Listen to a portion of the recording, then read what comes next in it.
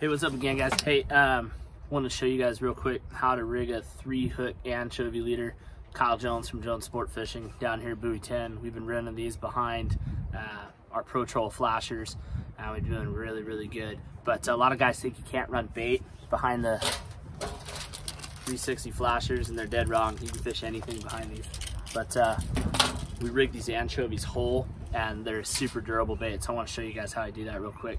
So hooks and I come in about by the dorsal fin with the bait facing away put the hook in come all the way through it and then the key here is to get your anchovy to bend a little bit. So I time I pre-time my hooks. These anchovies come in a bunch of different you know whatever sizes they I get that day. So a lot of times it might be a little long and I'll just wrap the leader around there around the shank of the hook.